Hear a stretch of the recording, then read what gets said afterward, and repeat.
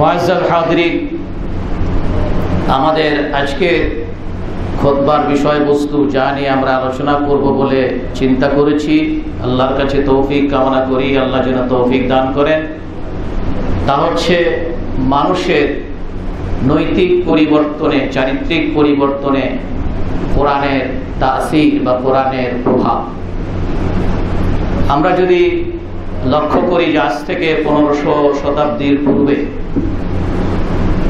ইসলাম আসার পূর্বে, কোরআন নাজিল হওয়ার পূর্বে, তদানীন্তন সেই সমাজের সহ বিশ্বের সকল জায়গাতে যেখানে মানুষের বসবাস ছিল, দীর্ঘদিন নবী এবং রাসুলগণের আগমন ছিল না যেটাকে ফাত্রাতুর রসুল রসুল বলা হয়। সেই সময়ে মানুষের অবস্থা কি ছিল?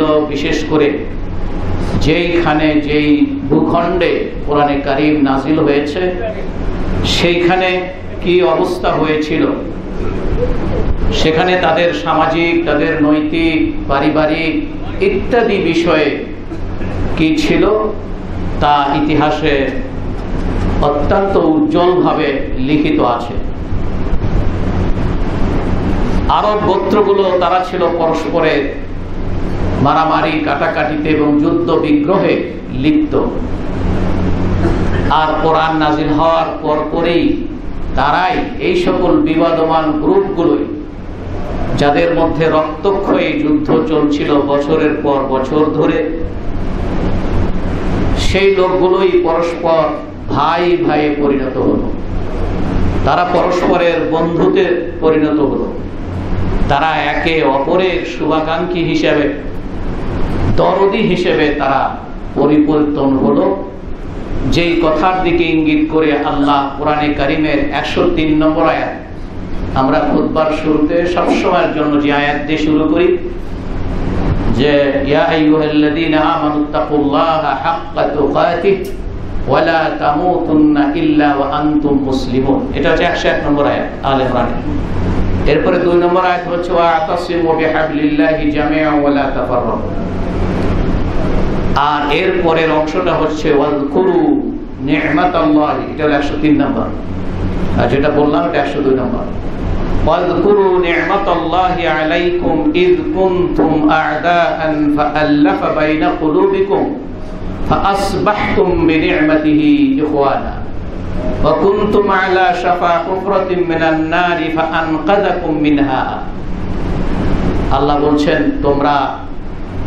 আল্লাহর সেই নিয়ামতকে স্মরণ করো, যা তিনি তোমাদেরকে তোমাদের উপরে দিয়েছেন।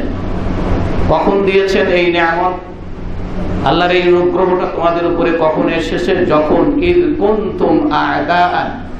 যখন তোমরা পরস্পরের শত্রু ছিলে। একজনের সাথে আর একজনের শত্রুতা ছিল। এক গোত্রের সাথে আর এক গোত্রের শত্রুতা ছিল। রক্তক্ষয়ী যুদ্ধ ছিল। সেই সময় আল্লাহ তোমাদের উপরে অনুগ্রহ করেছেন। কি অনুগ্রহ করেছেন?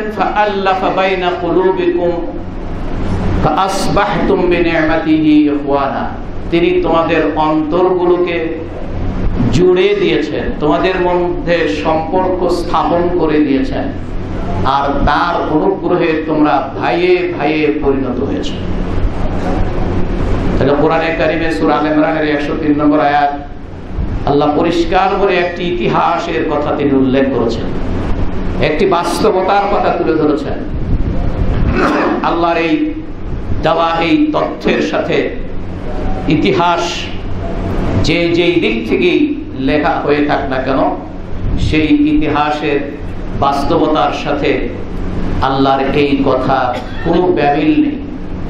আরব জাতিরা তারা পরস্পর দুশ্মন ছিল, শত্রু ছিল। ঠিক তো? এবং এরপরে সেই লোকেরাই আবার ভাইয়ে ভাইয়ে পরিণত হয়েছে, বন্ধুতে পরিণত হয়েছে, একে অপরের হিতাকাঙ্ক্ষী হিসেবে প্রতিষ্ঠিত হয়েছে, একজন আরেকজনের সহানুভূতির সাথে এসেছে। এই বিষয়গুলো ইতিহাস আমাদের সামনে সাক্ষ্য বহন করছে। তারা সামান্য ও ছাগল, ভেড়া এগুলোর পানি খাওয়া নিয়ে, এগুলোর ঘাস খাওয়া নিয়ে তারা পরস্পর যুদ্ধে বিগ্রহে তারা লিপ্ত হয়েছে এবং এই যুদ্ধের স্থায়িত্ব একটি দুইটি যুদ্ধের মাধ্যমে শেষ হয়নি। একবার দু একবার রক্তক্ষয়ী সংঘর্ষের মধ্যেই শেষ হয়নি। বছরের পর বছর, শত শত বছর, হাজার হাজার বছর এই যুদ্ধ বিগ্রহের উপর ছিল। এরাই কিসে পরিণত হলো? যাদের প্রশংসা করে আল্লাহ বলেছেন সুরাল হাসরের নয় নম্বর আয়াতে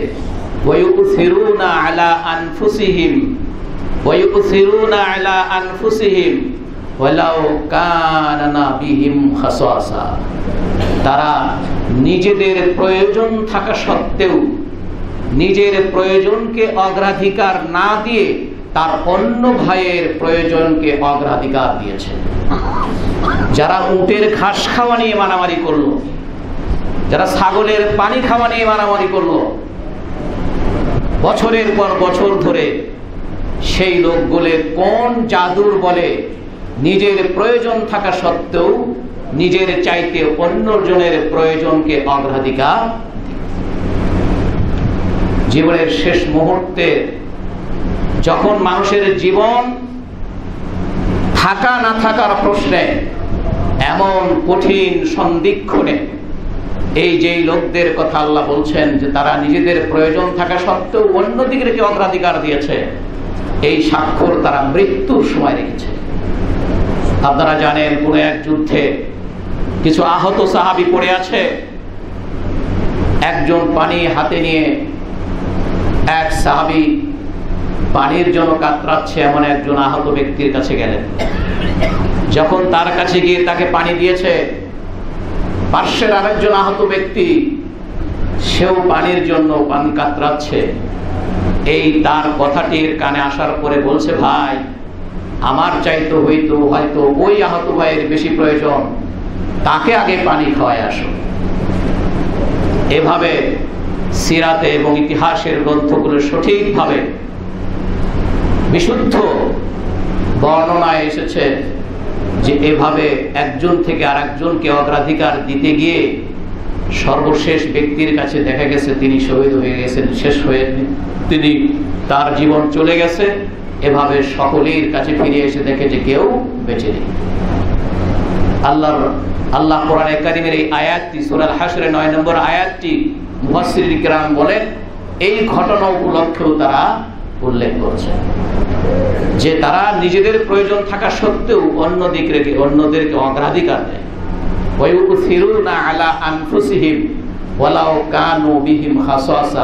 নিজেদের প্রয়োজন থাকা সত্ত্বেও। আল্লাহর বক্তব্য, নিজেদের আপনার প্রয়োজন নাই, আমরা ঠিক আছে, ওনাকে নিলাম ওনাকে দেন এটা। আপনার খুব বেশি প্রয়োজন নাই, নিলে নিতে পারেন, কিন্তু প্রয়োজন নেই আপনার।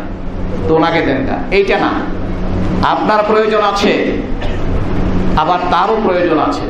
সেখানে নিজের প্রয়োজনের চাইতে অন্যকে অগ্রাধিকার দেওয়া, এটা হচ্ছে আয়াতের দৃষ্টিভঙ্গি। আমরা কি?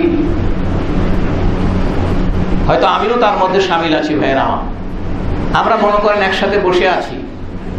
মাঝখানে একটি নাস্তার ইতে কয়েকটি কলা দিয়েছে মনে করেন, কলা। তো দেখবেন যে আমাদের হাতটা প্রথমে ওই কলাটার দিকে যায়, যে এই কলাটাতে কোনো দাগ নাই, কালো না বা পচা পচা ভাব না। কথা ঠিক না ঠিক সেটা আগে নেই। এটুকুন ছাড় দিত এটুকুন অগ্রাধিকার দেই না। আচ্ছা যেটা আমার দৃষ্টিতে খারাপ মনে হচ্ছে, সেটা আমি আগে নেই। আমার দৃষ্টিতে যেটা খারাপ মনে হচ্ছে, সেটাকে আমি নেই।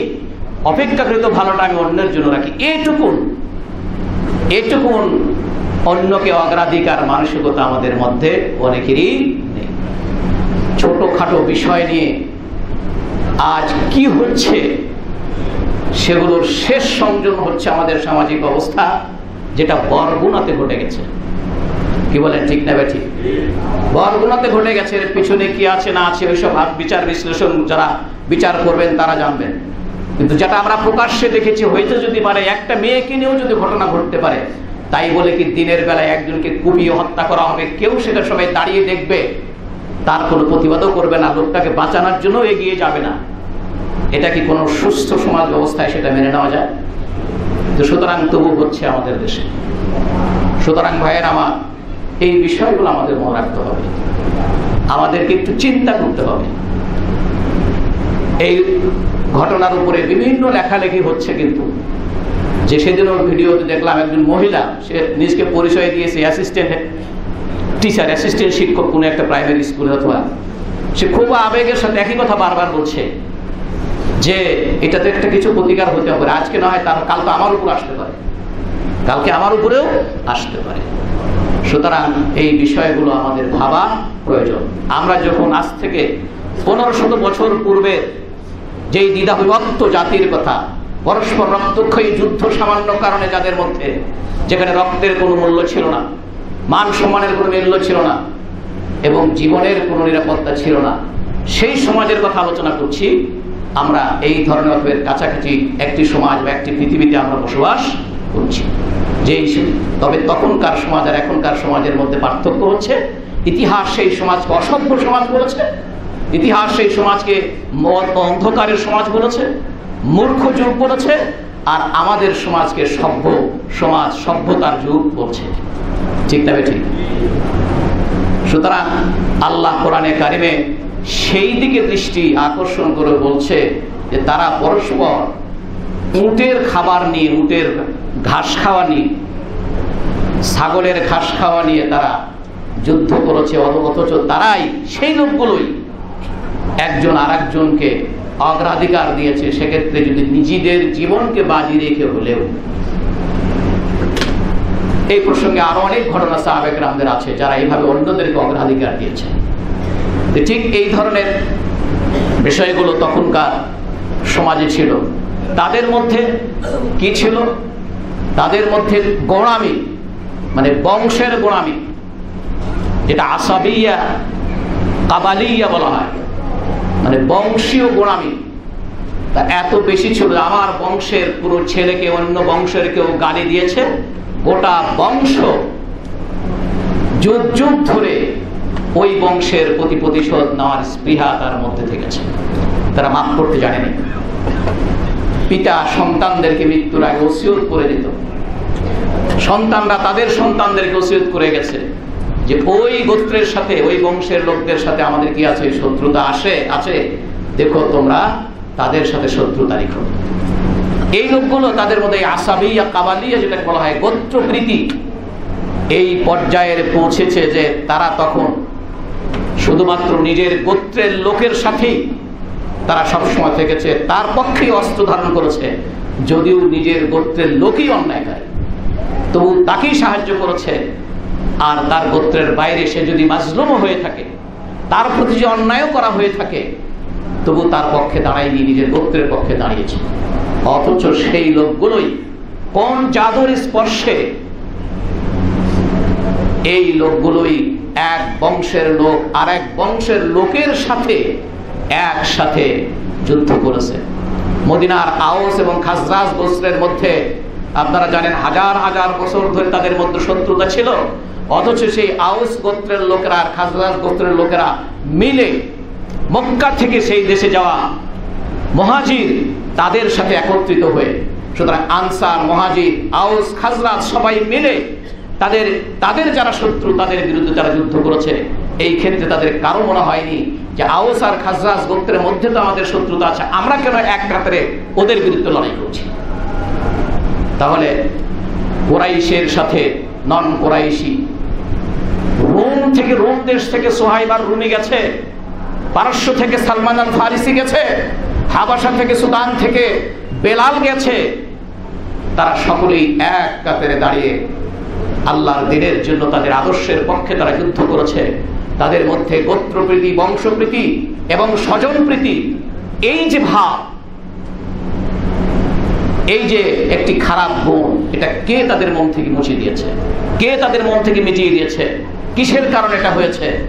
সুতরাং এটাই হচ্ছে আমাদের ভাবনার বিষয়, এটাই হচ্ছে আমাদের চিন্তার বিষয়।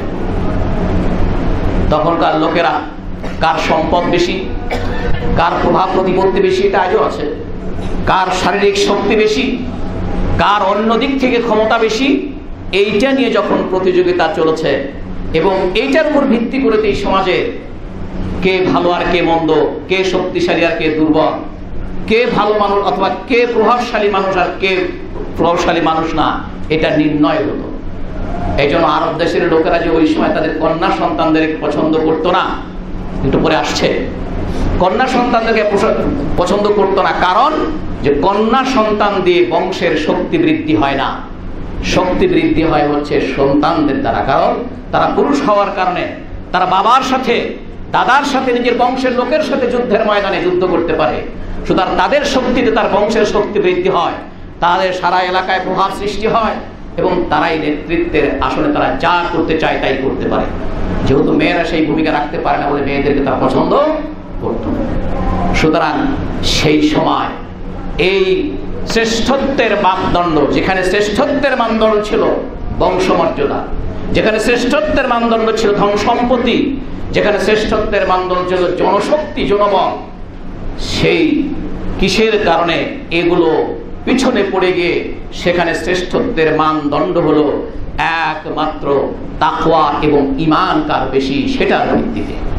আল্লাহ কোরআনে কারিমে তাই বলেছেন, সূরা আল হুজুরাতের 13 নম্বর আয়াত, ইয়া আইয়ুহান নাসু ইন্না খালাকনাকুম মিন যাকারিন ওয়া উনসা ওয়া জাআলনাকুম ওয়া লিতাআরাফু ইন্না আকরামাকুম ইনদাল্লাহি আতকাকুম। সমস্ত মানুষকে আমি আয়াতের অর্থ বলছি, ভাবার্থ বলছি, সমস্ত মানুষদেরকে পুরুষ এবং এক পুরুষ এবং নারী থেকে আমি সৃষ্টি করেছি। এবং আমাদেরকে বিভিন্ন গোত্র এবং বংশে পরস্পর পরিচিতির জন্য আমি এভাবে ভাগ ভাগ করেছি। কিন্তু মনে রেখো, এগুলোর ভিত্তিতে তোমাদের সম্মান, প্রভাব, প্রতিপত্ত নির্ণীত হবে না। আমার কাছে সেই অধিক সম্মানই হবে যে তাকওয়ার দিক থেকে বেশি অগ্রগামী হবে। তাকওয়ার দিক থেকে যে অগ্রগামী হবে সেই হবে আমার কাছে বেশি সম্মানিত, সেই হবে আমার কাছে শ্রেষ্ঠ, সেই হবে আমার কাছে প্রভাবশালী। আল্লাহ বলছেন, এই যে রসুল্লাহ সাল্লাহ আলিয়াল্লাম এটাকে আরও পরিষ্কার করে ব্যাখ্যা করে বললেন, সুতরাং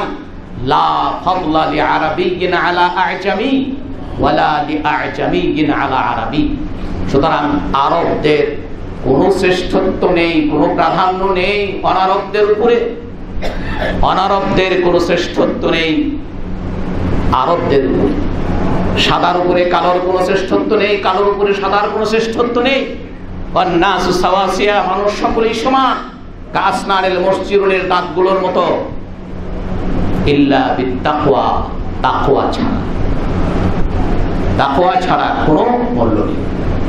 সুতরাং এই জন্য সেই সমাজে যেটা যে নির্ণয় হয়েছে সম্পূর্ণ তার বিপরীত যে বিষয়টি এভাবে বলা হচ্ছে সেই সমাজে নারীদেরকে অচ্ছুত মনে করা হতো। নারীদেরকে অসম্মানের জাত মনে করা হতো। তাদেরকে একজন স্বামী তার স্ত্রীকে, তার বাড়িতে অন্যান্য পণ্য এবং অন্যান্য বস্তু যা আছে আছে ওই রকম একটি বস্তু হিসেবে মনে করত। স্বামী তার স্ত্রীকে তার বাড়ির অন্যান্য যেমন চেয়ার, খাট, পালঙ্গ, হাঁড়ি, পাতি, এগুলো যেমন বস্তু একটা বাড়ির, এগুলো যেমন একটি পণ্য সামগ্রী, নারীকে তার স্বামী, স্ত্রীকে তার স্বামী, এর চেয়ে বেশি সম্মানিত মনে করত সেই সমাজে কন্যা সন্তানদেরকে তারা অপমানের লজ্জার কারণ হিসেবে মনে করত। সেই সমাজে তাদের তো উত্তরাধিকারের কোনো অধিকার ছিল না। সম্পদ পাওয়ার কোনো অধিকার ছিল না, মান মর্যাদা ছিল না। সেই সমাজে সেই সমাজে সেই লোকদের মধ্যে নারীদের জন্য সম্মানকে দিলেন নারীদের উত্তরাধিকার, এই অধিকার তাদেরকে কি দিলেন এই প্রশ্নগুলো আমাদের সামনে উত্তর খুঁজলে আমরা পাবো যে তখন এই পরিবর্তন আর একটু সমাজের সব কিছু একইভাবে চলছিল। শুধু নতুন একটি বিষয় এসেছিল, সেটা হচ্ছে মোহাম্মদ সাল্লাহ আলী সাল্লামের কাছে আল্লাহর পক্ষ থেকে কোরআন নাজিল হয়েছিল আর এই কোরআনের কথা দিয়ে, কোরআনের বক্তব্য দিয়ে, কোরআনের ওয়াজ দিয়ে, কোরআনের উপদেশ দিয়ে, কোরআনের বাণী দিয়ে, কোরআনের আদেশ নিষেধ দিয়ে নিষেধ দিয়ে আল্লাহ রসুল মোহাম্মদ ইবনে আবদুল্লাহ সাল্লাহ আলী সাল্লাম এই যে লোকদের মধ্যে সমাজকে পুরো ধ্বংস করে দেওয়া হয়েছিল, মানবতার কোনো সুযোগ ছিল না, লোকদের মধ্যে এই সকল দোষগুলোকে দূর করার জন্য এই কোরআনের প্রিসক্রিপশন দিয়ে তাদের মধ্যে এই পরিবর্তন এনেছিল। অথবা এই লোকগুলো কোরআনের এই তাসিরে, কোরআনের এই প্রভাবে তাদের মধ্যে প্রতিষ্ঠিত অসৎ গুণাবলী, প্রতিষ্ঠিত জিঘাংসা, শত্রুতা, রক্তর পিপাসা, সম্পদের পিপাসা, এগুলো কেবল দূর করেছিল কোরআনের এই বাণীগুলো, কোরআনের এই প্রিসক্রিপশন এবং কোরআনের এই ব্যবস্থাপত্র। এটাই হচ্ছে আমাদের চিন্তার বিষয়। এই জন্য আল্লাহ বলেছেন ওদের সম্পর্কে, নারীদের যে কোনো ছিল আল্লাহ বলছেন যে, ইদা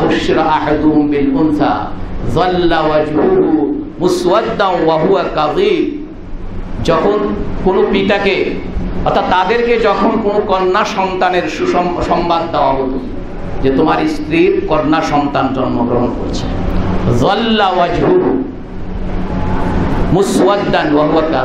ক্ষোভের সাথে, রাগের সাথে এই লোকটির মুখটা কালো হয়ে যেত। আল্লাহ নিজেই বলছেন, কালো হয়ে জল্লা মুসওয়াদ্দা। মুসওয়াদ্দা মানে কালো হয়ে যাওয়া। তার চেহারা সবসময় কালো বর্ণ ধারণ করত। আমরা এখনও তো বলি, অসন্তুষ্টির ভাব, মুখ দিয়ে বা চেহারাতে যে ফুটে ওঠে, এর নাম কি? মুখটা কালো করে বসে আছিস কেন? ঠিক না ঠিক? আসলে কি মুখ কালো হয়েছে তা যার যে রং, সেই রঙই তো আছে। কালো কি হয়েছে? কিন্তু ক্ষোভের বহিঃপ্রকাশ হিসেবে সেটাই আল্লাহ বলছেন।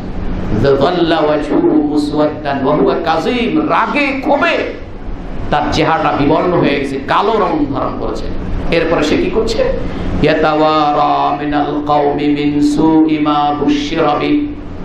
এবার কওমের লোকেরা, গোত্রের লোকেরা, সমাজের লোকেরা, আমার যে একটি কন্যা সন্তান হয়েছে, এটা যত জানতে না পারে, এই জন্য গোপন করতে চেষ্টা করে।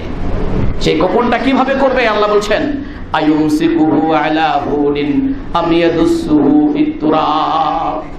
আল্লাহ বলছেন, ও যে গোপন করতে চাচ্ছে তার মেয়ে মেয়ে সন্তানের জন্য, কথাটা। সমাজের কাউকে জানিয়ে, জানান দিতে চায় না। কি করবে? এটা নিয়ে কেউ দ্বিধাদ্বন্দ্বে, কেউ চিন্তা করেছে, আমার লজ্জা, অপমান সত্ত্বেও আমারই যেহেতু সন্তান, একে আমি জীবিত রাখি। আবার কেউ মনে করেছে, না, এই অপমান আমি সহ্য করতে পারব না। কন্যা সন্তান জন্ম নিয়েছে অপমান আমি সহ্য করতে পারো না, সুতরাং আমি জ্যান্ত তাকে মাটি মাটিতে পুঁতে ফেলব আল্লাহ সে কথার দিকে ইঙ্গিত হুরিন আমি ফিতুরা তাকে লজ্জা থাকা, লজ্জা সহই তাকে জীবিত রাখবে, নাকি তাকে এই লজ্জাকে সে মেনে না নিয়ে তাকে জ্যান্ত কবর দিবে? এটার মধ্যে সে দ্বিধাদ্বন্দ্ব আল্লাহ কুমন আল্লাহ বলছেন, তাদের এই ফায়সালা, তাদের এই ফায়সালাটা কতই না নিকৃষ্ট ফায়সালা। সুতরাং সেই কন্যা সন্তানদেরকে ইসলাম সবচেয়ে বড় সম্মানিত, সম্মানের পাত্র হিসেবে ঘোষণা করেছেন আল্লাহ রসুল বললেন যে, কোন পিতা মাতার যদি দুটো কন্যা সন্তান হয়, তিনটি কন্যা সন্তান হয়, আর সে যদি তাদেরকে সঠিক তরবিয়াত দিয়ে, শিক্ষা দিয়ে বড় করে তাদেরকে বিয়ে দেয়, আল্লাহ রসুল বললেন, তাদের জন্য জান্নাত অজীব হয়ে যাবে। শ্রোতা সাহাবি জিজ্ঞেস করলি রাসুল্লাহ যদি কারও যদি দুটো থাকে? রাসুল বললেন, যার দুটো থাকবে, তার জন্য এই সুসংবাদ। এই রাবি সাহাবি বর্ণনা করছেন, আমার কাছে মনে হইল, আমি বলি নাই একজনের কথা, তবে আমার কাছে মনে হচ্ছিল, আমি যদি বলতাম, যদি একজন কন্যা সন্তান হয়, তাহলেও বোধ হয় রাসুল বলতেন, তার জন্য জান্নাতের সুসংবাদ রয়েছে। সম্মান দিয়েছে ইসলাম। রাসুল্লাহ সাল্লাহ আলি সাল্লামকে একজন সাহাবিছে জিজ্ঞাসা করলেন, ইয়া রাসুল্লাহ মান সাহাদাতি উত্তম আচরণ আমার কাছ থেকে ভালো আচরণ পাওয়ার সবচেয়ে প্রধান, সর্বপ্রথম কে বেশি হকদার? রসুল্লাহ সাল্লাহ সাল্লাম বললেন, তোমার মা। আবারও জিজ্ঞাসা করলেন, তারপরে কে? রসুল বললেন, তোমার মা। আবারও জিজ্ঞাসা করলেন, তারপরে কে? রসুল বললেন, তোমার মা। আবারও জিজ্ঞেস করলেন, তারপরে কে? রসুল বললেন, তোমার পিতা। এই জন্য পুরুষদের চাইতে তিন গুণ বেশি সম্মান আল্লাহ নারীদেরকে দিয়েছেন। পুরুষদের চাইতে তিন গুণ বেশি সম্মান আল্লাহ নারীদেরকে দিয়েছেন। সেই সমাজে মেয়েদের উত্তরাধিকার হওয়ার কোনো অধিকার ছিল না। ইসলাম তাদেরকে উত্তরাধিকার দিয়েছে। আল্লাহ বলছেন, লির রিজালি নাসিবুম মিম্মা তারাকাল ওয়ালিদান ওয়াল আকরাবুন।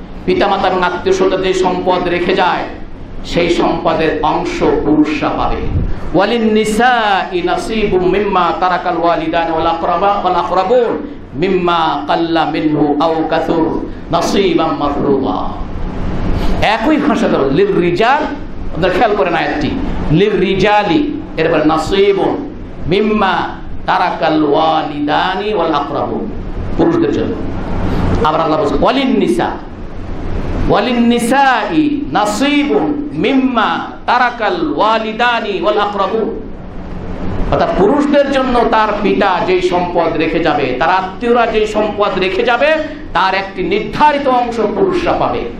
একইভাবে তার পিতামাতা এবং আত্মীয় সন্ধ্যা যেই সম্পদ রেখে যাবে, সেখান থেকে নারীরাও একটি অংশ পাবে। আল্লাহ বলে দিচ্ছেন, মিম্মা কাল্লা মিনহু কাসুর কম বেশি যাই হোক না কেন নাসিব মাফরুবা। আল্লাহ এটাকে নির্ধারিত করে দিয়েছেন, ফরজ করে দিয়েছেন এই বন্টন। সুতরাং এই বন্টনে হাত দেওয়ার ক্ষমতা পৃথিবীর কারও নাই। কথা ঠিক কিনা? আল্লাহ বলছেন, সুরা আর নিসা সাত নম্বর আয়াত। আর ওই যে মেয়েদের খবর শুনলে, মুখ কালো হয়ে যায়, এটার আয়াত হচ্ছে সুরা আন নাহাল আটান্ন নম্বর আয়াত এবং উনষাট নম্বর আয়াত, সুরা আন নাহালের পনেরো পাড়ার চোদ্দ পাড়ার সর্বশেষ সুরা। চোদ্দ পাড়ার সর্বশেষ সুরা সুরা আন নাহাল এই সুরা নাহালের আটান্ন উনষাট নম্বর আয়াত আর ওয়ারিশ বা উত্তরাধিকার পুরুষদের জন্য, মেয়েদের জন্য সুরা আন নিসার সাত নম্বর আয়াত। এইখানে উত্তরাধিকারের আইন সম্পর্কে আল্লাহ সুরা নিসার প্রথম রূপতে সুস্পষ্টভাবে তিনি পরিষ্কার করে বলে দিয়েছেন। এরপরে লোকেরা যেই মুহূর্তে দুনিয়ার সম্পদ অর্জন করার জন্য, ধন সম্পদ অর্জন করার জন্য প্রভাব প্রতিপত্তি সৃষ্টি করার জন্য প্রতিভা, প্রতিযোগিতা করতো সারা ওমর ধরে, সারা জীবন ধরে। যে সময়ে মানুষ অধিক সম্পদ, অধিক টাকা পয়সা ধন সম্পদ প্রভাব প্রতিপত্তি অর্জনের জন্য জীবন দিয়ে দিত এবং জীবন ভর সেই কাজে ব্যস্ত থাকত। মৃত্যুর চিন্তাও করতো না। মৃত্যুর চিন্তাও করতো না। আমরাও আজকে সেভাবেই সেদিকেই যাচ্ছি। সেদিকেই আমরাও হয়েছি। দুনিয়া পাওয়ার জন্য, দুনিয়ার পাওয়ার প্রতিযোগিতা অহরহ এত বেশি করছি, আমি আপনাদেরকে মাঝে মাঝেই বলি। যেইখানে যাবেন, আপনি এমনকি আপনি রিক্সায় যাচ্ছেন, আপনার পাশ দিয়ে আর এক রিক্সা যাচ্ছেন দুজন বদলে যাচ্ছেন, দেখবেন তারা ওই টাকা পয়সা কাকে দিছে, কাকে নিছে, কে ফ্ল্যাট কিনেছে, এই আলোচনা করতে করতে যাচ্ছে। কি আপনারা আপনাদের চোখে পড়ে এলো তো সুতরাং এইরকম, যেই সমাজের মানুষ তাদের টাকা, পয়সা, ধন সম্পদ, প্রভাব প্রত্যুরি, নেতা নেতৃত্ব, এগুলো প্রতিযোগিতায় সারা জীবন জীবন দিত, সারা জীবন ধরেই। সেই সমাজের লোকেরা আল্লাহর কাছে কোন মৃত্যু হলে মর্যাদার মৃত্যু হবে? আল্লাহর কাছে কোন মৃত্যু হলে ভালো মিত্র বলে পরিচয় হবে, সেই দিকে তাদের মোনা ওই টাকা পয়সা বেশি হবে, প্রভাব প্রতিপত্তি বেশি হবে। এই চিন্তা তারা মগ্ন নয়। তারা আল্লাহর কাছে গিয়ে কোনভাবে আল্লাহর কাছে যেতে পারলে তাদের মর্যাদা বাড়বে, সেই চিন্তায় তারা বিবাহ হয়ে গেল। এটাই আল্লাহ সুরা আহজাবের তেইশ নম্বর আয়াতে বলেছেন, মিনাল মুমিনিনা রিজালুন সাদাকু মা আহাদুল্লাহ আলাইহি মান কাবা নাহবাহু ওয়া মিনহুম মান ইয়ান্তাযির ওয়া সূরা আহজাবের 23 নম্বর আয়াত। ইমানদার ব্যক্তিদের মধ্যে একদল যুবকরা, যারা আল্লাহর সাথে তাদের কৃত ওয়াদাকে, আল্লাহর সাথে তাদের চুক্তিকে, প্রতিশ্রুতিকে তারা সত্যে পরিণত করেছিল। এটা ছিল একদল যুবক সাহাবিরা। রাসুল্লাহ আল্লাহ সাল্লামের কাছে যুদ্ধে যাওয়ার জন্য কোনো এক যুদ্ধে যেতে পারেনি। পরের যুদ্ধে, তার নিকটতম যুদ্ধ সেই নিকটতম যুদ্ধে যাওয়ার জন্য ওই যুদ্ধে যেতে পারেনি, সেই আফসোসে আবার কখন যুদ্ধ হবে? এই জন্য অপেক্ষা করতেছেন। গত যুদ্ধে যেতে পারেনি, গত জিহাদে যেতে পারেনি। এই আফসুস নিয়ে, সর্বক্ষণ সেই আফসুস নিয়ে আগামী যুদ্ধের জন্য, জিহাদের জন্য অপেক্ষা করছেন। সেই যুদ্ধে তারা আল্লাহর সাথে কৃত প্রতিশ্রুতিকে তারা পূরণ করছে সুরা আল্লাহ হেজাবে আয়াত আল্লাহ তার, তাদের প্রশংসা করে বলছেন। তারা কে ছিলেন? তাদের মধ্যে একজন ছিলেন হজরতে আনাস ইবনে মালিক রাবি আল্লাহ আনহুর চাচা যার নামও ছিল আনাস। তাহলে ভাতিজার নামও আনাস, চাচার নামও কি? আনাস। সেই আনাস ইবনে মালিক রাদিয়াল্লাহু তাআলা আনহু তিনি বলছেন, রাসূলুল্লাহর কাছে বলছেন, ইয়া রাসূলুল্লাহ, আমার চাচা আনাস ইবনে নবর, উনি বদরের যুদ্ধে অংশগ্রহণ করতে পারেন নাই। উনি বদরের যুদ্ধে অংশগ্রহণ করতে পারেন নাই কোনো কারণে। কারণ বদরের যুদ্ধে যাওয়ার জন্য রসুল্লাহ সাল্লাহাম কিন্তু মদিনাবাসীদেরকে যুদ্ধের ঘোষণা দিয়ে জিহাদ যেতে হবে। তোমরা কারা কার সকলেই তোমরা আসো এভাবে আহ্বান করেননি। তিনি যেহেতু একটা কাফেলাকে একটা কাফেলাকে অবরোধ করার জন্য তিনি রওনা হয়েছিলেন। এই জন্য যাদের ইচ্ছা হয়েছে রাসুলের সাথে অংশগ্রহণ করেছে। এই জন্য তাদের সংখ্যা তিনশো তেরো জন ভাই, এই পরিমাণ ছিল। কিন্তু সেই বদরের যুদ্ধের মধ্য দিয়ে ইসলামের একটি সিদ্ধান্ত করে যুদ্ধ হয়েছে। এবং সেই যুদ্ধ ছিল ইসলামের প্রথম যুদ্ধ প্রথম যুদ্ধ, হক এবং বাতিল, সত্য আর মিথ্যা ফয়সলা হয়েছে যুদ্ধের মাধ্যমে। এই জন্য রসুল্লাহ সাল্লাহ আলিয়াল্লাম তার ছাউনিতে সেজদায় পড়ে গিয়ে আল্লাহর কাছে বলছে, "ইয়া আল্লাহ, আমার যা প্রস্তুতি ছিল তা নিয়ে ময়দানে হাজির হয়েছি। সুতরাং এখন তোমার পর্দা, তোমার প্রতিশ্রুতি তুমি পূরণ করো। হে আল্লাহ, আমি যেই দলকে নিয়ে এখানে এসেছি, আইন তাহলিক হাদিহিল এই দলটি যদি আজকে এখানে ধ্বংস হয়ে যায় এরপরে আর তোমার কোনো ইবাদত করা হবে না। সুতরাং সেই বদরের যুদ্ধ, এই জন্য আল্লাহ এই বদরের যুদ্ধে যারা অংশগ্রহণ করেছিল, এই বদরি সাহাবিদের মর্যাদা আল্লাহর কাছে অনেক বেশি। আল্লাহ রসুল বলেছেন তোমরা হে বদরুইরা, তোমরা যা খুশি তাই করো। আল্লাহু তোমাদের দিকে তাকিয়ে সব তোমরা বদরের যুদ্ধে অংশগ্রহণ করেছে সেই বদরি যুদ্ধ হতে পারেন নাই। এই মতো অসংখ্য যুবকরা মদিনায় তারা এই আফসোস করছিল। এই জন্য তার পরবর্তী যখন অহুদের যুদ্ধের কথা যখন আসলো, রাসূলুল্লাহ সাল্লাম যখন পরামর্শ করতে বসলেন বুড়া বুড়া লোকগুলো সিনিয়র লোকগুলো কথা বলার আগে এই যুবকরাই রসুলকে বারবার চাপ দিচ্ছে রাসুল্লাহ আমরা যুদ্ধ করব তাদের সাথে এবং এই যুদ্ধ মদিনার মাটিতে হবে না, মদিনার বাইরে গিয়ে হবে। আলাইহি ইচ্ছা ছিল ভিতর থেকে করা। কিন্তু অধিকাংশ যেহেতু সকলেই, বিশেষ করে যুবকরা যখন বলছে, এই জন্য মদিনার বাইরে গিয়ে ওহুদের যুদ্ধের সিদ্ধান্ত নিলেন, রাসূলুল্লাহ সাল্লাল্লাহু আলাইহি সাল্লাম সেই সিদ্ধান্ত জানিয়ে ঘর থেকে তিনি বর্ম পরিহিত অবস্থায় যুদ্ধের প্রস্তুতি নিয়ে বের হলেন। তখন সিনিয়র সাহেবেরা বললেন, তোমরা রসুল সাল্লামের ইচ্ছার বিরুদ্ধে তাকে চাপ দিয়েছ এবার যুবকরা বলে রসুল্লাহ আমরা জাস্ট পরামর্শ দিয়েছি, আপনি আপনার সিদ্ধান্ত নেন। রসুল বললেন, আল্লাহর নবীরা যখন যুদ্ধের জন্য প্রস্তুতি নিয়ে ঘর থেকে ফিরে বের হয়, তারা আর ঘরে ফিরে যেতে পারে না। তো সুতরাং সেই বদরের যুদ্ধে, সেই ওহুদের যুদ্ধে আনাসেদ নদর, ওই যে গত একটি বছর ধরে বদরের যুদ্ধে অংশগ্রহণ করতে পারে নাই, এই আফসুসে সেবা চলছিল, বদরের বহুদের যুদ্ধে তিনি গেলেন। তিনি যখন মদিনাতে, যখন বহুদের যুদ্ধে ভীষণভাবে মুসলমানেরা একটি কঠিন অবস্থার সম্মুখীন হয়েছে, এক পর্যায়ে রসুল্লাহ সাল্লাহ সাল্লামকে শাহাদত করা হয়েছে, তাকে নিহত হত্যা করা হয়েছে, এই খবরও ছড়িয়ে পড়েছে।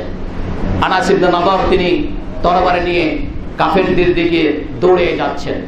যেতেই তিনি একদল সাহাবিদের সামনে পড়লেন, যারা হাতের অস্ত্র ফেলে দিয়ে কিংকর্তব্য বিমূল হয়ে দাঁড়িয়ে আছে। তখন বললেন, হে আল্লাহর নবীর সাহাবিরা, তোমরা কেন দাঁড়িয়ে আছো হাতের অস্ত্র ফেলে দিয়ে? কেন তোমরা যুদ্ধ করছ না? তখন বললেন, হে আল্লাহ নবীর সাহাবি, আপনি কি জানেন না? ইন্না রাসূলুল্লাহ সাল্লাল্লাহু আলাইহি ওয়াসাল্লাম কাদ কুতিল। রাসূলুল্লাহ সাল্লাল্লাহু আলাইহি সাল্লাম তো নিহত হয়েছে।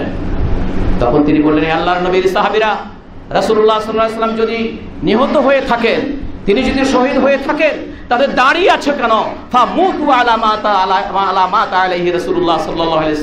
সুতরাং আল্লাহর রাসূল যেই পথে জীবন দিলে, তোমরা দাঁড়িয়ে আছে বলে তোমরা যুদ্ধ করতে করতে সেই পথে জীবন দাও। এই বলে তিনি আরও ক্ষিপ্র শত্রুদের দিকে এগিয়ে গেলেন। পথে পড়ল তিনি তখন বললেন, হে সাআদ, ইন্নী হে সাআদ আমি এই উহুদের পাদদেশ থেকে জান্নাতের সুসংবাদ সুঘ্রাণ শুনছি। আমি ওহুদের পক্ষ থেকে ওহুদের কাছ থেকে ওহুদের এই পাশ থেকে আমি জান্নাতের সুগন্ধ, সুগন্ধি আমি অনুভব করছি। এরপরে তিনি যুদ্ধ করলেন। যুদ্ধ করতে করতে তিনি শহীদ হয়ে গেলেন। আনাস বলেন, আমার চাচাকে এত আঘাত করা হয়েছে, এত তার শরীরকে ক্ষত বিক্ষত করা হয়েছে যে ইনি যে আমার চাচা আনাস, এটা কোনোভাবেই শনাক্ত করা যাচ্ছিল না। তার এক বোন বলতে আমার ফুপু এসে তার আমার চাচার হাতের আঙ্গুলে একটি দাগ ছিল। সেই চিহ্ন দেখে তাকে শনাক্ত করা হয় ইনি আনাস ইবনে নদর সুতরাং তাদের সানে এই ধরনের সাহাবিদের সানে আল্লাহ আল্লাহ কোরআনে কারিমে, মিনাল মুমিনিনা রিজালুন সাদাকু মা আহাদুল্লাহ আলাইহি। এদের সানেই আল্লাহ আয়াত নাযিল করেছেন। যে মুমিনদের মুমিনদের মধ্যে একদল যুবক, একদল পুরুষ, তারা আল্লাহর সাথে কৃত চুক্তিকে, প্রতিশ্রুতিকে তারা সত্যে পরিণত করেছে। তাদের মধ্যে কেউ কেউ আমিন হুম্মান কাবা নাহাবু তাদের মধ্যে কেউ কেউ আগেই মৃত্যুবরণ করেছে, অর্থাৎ শাহাদত বর্জন বরণ করেছে। আবার কেউ কেউ এই মৃত্যুর জন্য আমিন হুম্মাই ইয়ান্তাজির আর কেউ কেউ অপেক্ষা করছে। সেই অপেক্ষার পালা ছিল ওদের দিনে সুতরাং তাদের সামনে আল্লাহ আয়াত করলেন। তাহলে যে লোকগুলো দুনিয়ার পাওয়ার জন্য, দুনিয়ার প্রভাব প্রতিপত্তি, টাকা পয়সা অর্জনের জন্য যে লোক যে লোকগুলো সারা জীবন চেষ্টা করেছে, সেই লোকগুলো কিসের কারণে মৃত্যুর জন্য অপেক্ষা করে এবং আল্লাহর কাছে সম্মানিত মৃত্যু হওয়ার জন্য, শাহাদতের মৃত্যু লাভ করার জন্য তারা অপেক্ষা করে? কিসে তাদের মধ্যে এই পরিবর্তন এনেছে? একইভাবে যারা কৃতদাস ছিল যারা কৃতদাস ছিল, সেই কৃতদাসের কোনো মূল্য ওই সমাজে ছিল না। টাকা দিয়ে কিনে নেশে গোলাম। কেনা টাকা দিয়ে গোলাম, তাদের মানুষ হিসেবে তাদের কোনো অবস্থান তাদের সমাজে ছিল না। এই সকল লোকদের মধ্যে বেলাল রাদিয়াল্লাহু ছিলেন, খাব্বাব রাদিয়াল্লাহু ছিলেন সোহায়েব ছিলেন, আম্মার ছিলেন এবং এরকম অনেকেই ছিলেন। অথচ এদেরকেই তারা আরবদের, বিশেষ করে কোরাইশ বংশের বড় বড় কুলীন লোকদের পাশাপাশি দাঁড়িয়ে তাদের সমমর্যাদা অর্জন করেছে। কোনো কোনো কোনো ক্ষেত্রে তারা তার চাইতেও বেশি সম্মান অর্জন করেছে। বেলাল নাদিরাতালের একদিন কালো কুৎসিত দেখতে শুনতে সেই বেলালকে রাষ্ট্রীয় মুয়াজ্জিন করা হয়েছে। রাসূলের মসজিদের মুয়াজ্জিন নিয়োগ করা হয়েছে বেলালকে এবং আল্লাহ রাসূল বলছেন, বেলাল তুমি এমন কি আমল করো? আমি যখন জান্নাতের সফরে গেলাম, আমাকে যখন জান্নাত দেখানো হলো, আমার কাছে মনে হচ্ছিল তুমি বেলালের, আমার আগে আগে তুমি বেলালের পায়ের আওয়াজ আমি শুনতে পাচ্ছি। বেলাল, তুমি কি আমল করো আমাকে বলো? যার কারণে তুমি জান্নাতে চলে গেছো। কার সম্পর্কে বলছেন? বেলাল। সেই বেলাল ইবনে খালাফের কৃতদাস ছিল। এই ইসলাম গ্রহণ করার কারণে তাকে অকথ্য নির্যাতন করা হয়েছে। কিচ্ছু বলার অধিকার ছিল না। এরকম একটি সমাজের সবচেয়ে দুর্বল, যাদের কোনো অস্তিত্ব নেই মানুষ হিসেবে, সেই বেলালকে আল্লাহ রসুল সাল্লাম বললেন যে, কি আমল করো, যার কারণে তুমি জান্না থেকে তোমার পায়ের আওয়াজ আমি শুনলাম?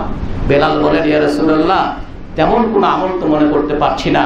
তবে আমি যখনই অজু করি অজুর পরে আমি দু দুরাকা তাহিয়াতুল অজু সালাত আমি আদায় করি। রাসূলুল্লাহ বললেন, ওয়ালিদালিক, এ কারণে আল্লাহ তোমাকে এই মর্যাদা দিয়েছে আবু দর আল গেফারি তাআলা আনহু, একজন প্রসিদ্ধ সাহাবী। একজন প্রসিদ্ধ সাহাবী, গেফার বংশের তিনি নিজেই বলছেন, আমি একবার বেলাল রাদিয়াল্লাহু আনহুকে তার কালো মায়ের সন্তান বলে গালি দিয়েছিলাম। মানে তাচ্ছিল্য করেছিলাম আইয়ারতুহু আইয়ারতুহু বিইবনি সাউদা কালো মায়ের সন্তান হিসেবে তাকে আমি তাচ্ছিল্য করেছিলাম। রাসূলুল্লাহ সাল্লাল্লাহু সাল্লাম এই কথা শুনে বললেন, ইয়া আবাদার তুমি এমন একজন ব্যক্তি যে এখনও তোমাদের তোমার মধ্যে জাহিলিয়াতের গন্ধ রয়ে গেছে।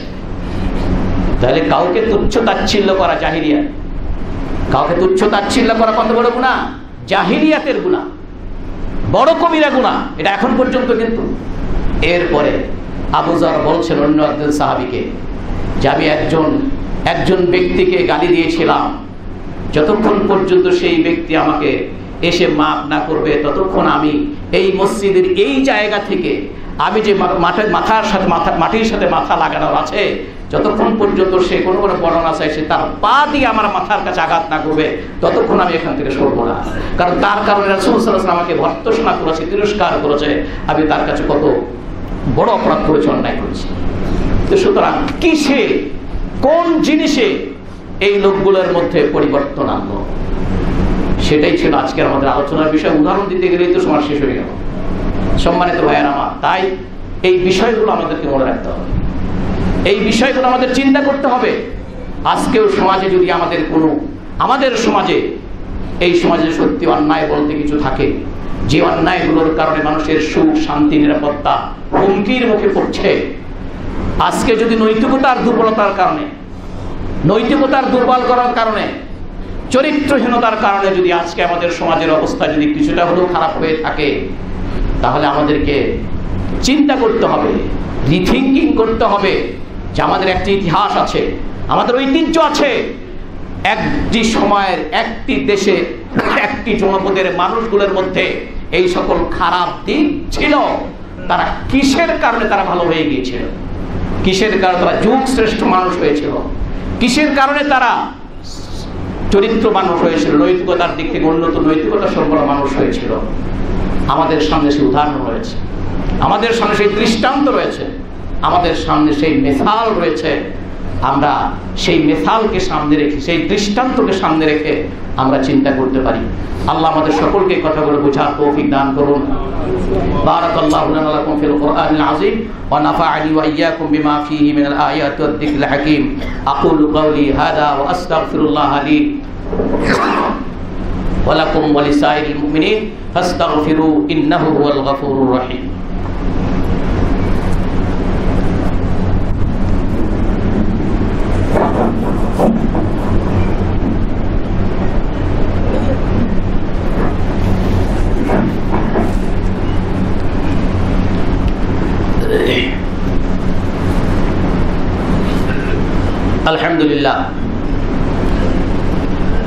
لله وحده والصلاة والسلام على من لا نبي بعده أما بعد فإن أحسن الحديث كتاب الله وأحسن الهدي هدي محمد صلى الله عليه وسلم وشر الأمور محدثاتها وكل محدثة بدعة وكل بدعة ضلالة وكل ضلالة في النار أو كما قال عليه الصلاة والسلام معزز حاضرين তো এতক্ষণ যে বিষয়গুলো আমরা দৃষ্টি আকর্ষণ করলাম ওই আজ থেকে পনেরো শত বছরের পূর্বে, যেই যুগের লোকদের তাদের স্বভাব, তাদের চিন্তা, তাদের বাস্তবতা, তারা কি চাইতো, এগুলোকে আপনাদের সামনে আমরা যা দৃষ্টি আকর্ষণ করেছি যাতে করে আমরা সেই স্মৃতিগুলো স্মরণ করি এবং এই অবস্থা থেকে তারা কীভাবে নিষ্কৃতি পেল, কোন জিনিস তাদের মধ্যে এই পরিবর্তন আনলো কিসের প্রভাবে তারা এই পরিবর্তন তাদের মধ্যে সৃষ্টি হলো?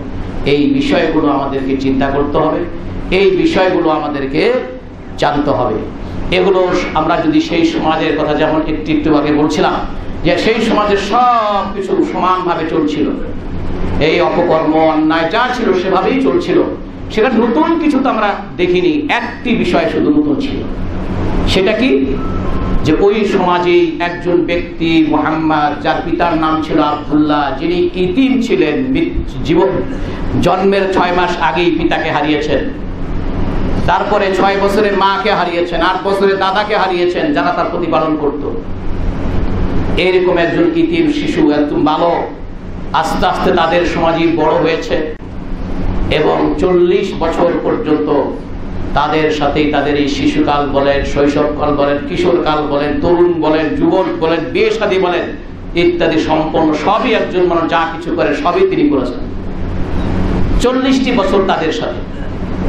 এরপরে তার কাছে, তাহলে এগুলো একটাও চিন্তার বিষয় না।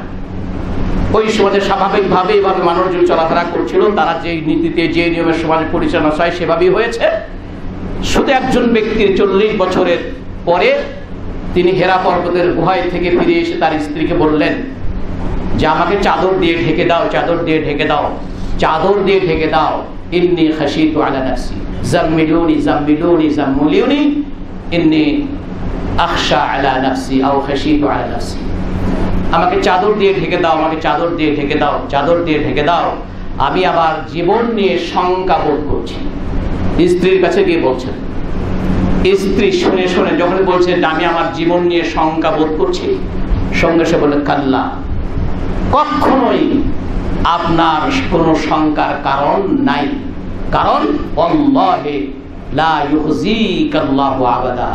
আল্লাহর কসম করে বলছি, খাদিজা বলে, তখন কি তিনি ইসলাম গ্রহণ করেছেন? আল্লাহর পরিচয় কিন্তু তাদের সাথে ছিল। এজন্য কসম করতেছে কার? আল্লাহ। অল্লাহে বোখারির হাদিস। একেবারে প্রথম দিকের হাদিস। কীভাবে ওহি নাজির হওয়া শুরু হলো? একেবারে প্রথম এক, দুই হাদিসের পরে যে আল্লাহর শপথ, আল্লাহর কসম, আপনাকে আল্লাহ অপদস্থ করবেন না। আল্লাহ আপনাকে অপদস্থ করবেন না। সুতরাং আপনার জীবনে আশঙ্কা হওয়ার কোনো কিছু নেই। তারপরে তিনি যেই কারণগুলো বলেছেন সেই কারণগুলো ছিল যে তিনি স্বামী হিসেবে তার এই পনেরো বছরের বিবাহিত জীবনে তিনি তার স্বামীকে দেখেছেন, যেই কাজগুলো তার স্বামী করত, তিনি সেগুলোই বলেছেন। বলেছে, এই কাজগুলো যারা করে, অন্তত পক্ষে আল্লাহ তাদেরকে অপদস্থ করেন না। আর এই সাপগুলো পাঁচটি কাজের কারণের কথা তিনি বলেছেন। পাঁচটি কারণ ছিল জনসেবার সাথে মানুষের সাথে সম্পর্কিত। আপনি ব্যবসা করতেন, আপনি এই করতেন, ব্যবসায় লাভবান হতেন, আপনি সফল ব্যবসায়ী, আপনি এরকম, সেরকম ইত্যাদি গেছেন আপনি সুন্দর যুবক চৈত্যবান যুবক, ইত্যাদি, এগুলো একটাও কারণ বলেননি কি কারণ বলছে?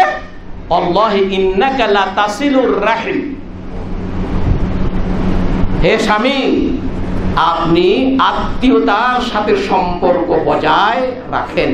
আত্মীয়র সাথে আপনি সম্পর্ক ছিন্ন করেন না। আত্মীয়ের সাথে আপনি সম্পর্ক খারাপ করেন না।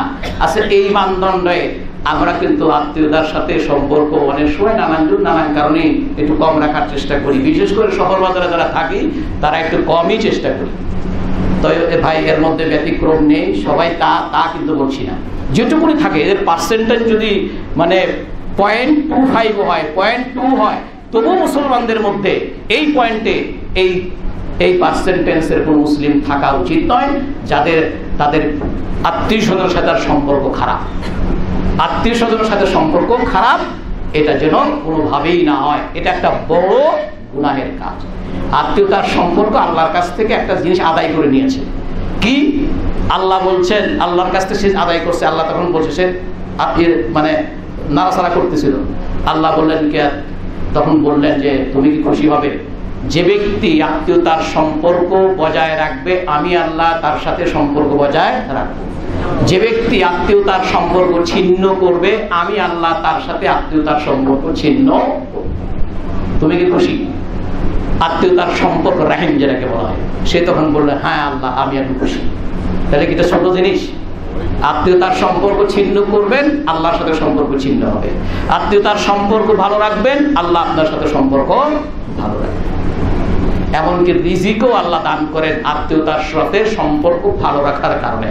আপনার কোনো আত্মীয়কে যদি আপনি তিন বেলা খাওয়ান, বোনেরাও শুনবেন, আপনার কোনো আত্মীয়কে যদি আপনি তিন বেলার কাছে পাঁচ বেলা খাওয়ান, আল্লাহ আপনাকে এই পাঁচ বেলার পরিবর্তে পাঁচশো বেলার খাবার জোগাড় দিয়ে দিতে পারে। কি এলেন কথা ঠিক না ঠিক আল্লাহ রসুল বলছেন, আত্মীয়তার সম্পর্কের কারণে তোমাদেরকে রিজিক দেওয়া হয়।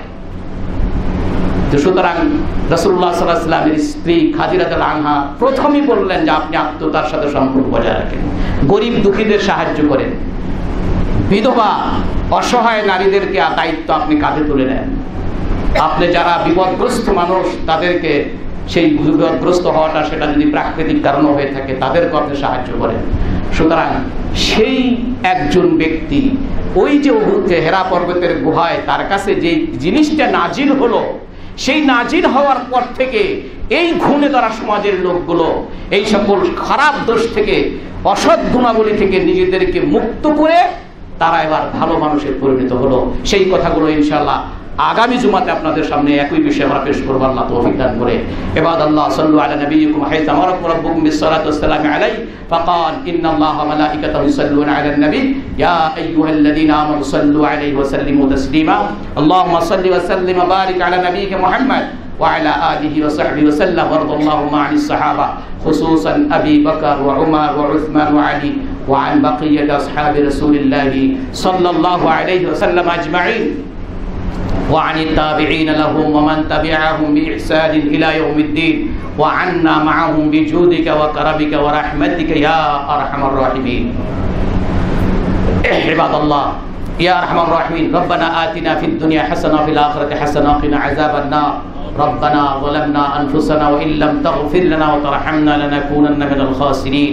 رب ارحمهما كما ربياني صغيرا. رب ارحمهما كما ربياني صغيرا. اللهم أعز الإسلام والمسلمين وأذل الشرك والمشركين. اللهم انصر من نصر الدين وخذل من خذل الدين. عباد الله إن الله يأمر بالعدل والإحسان وإيتاء ذي القربى وينهى عن الفحشاء والمنكر والبغي يعظكم لعلكم تذكرون. فاذكروا الله يذكركم ولذكر الله أكبر. والله يعلم ما تصنعون.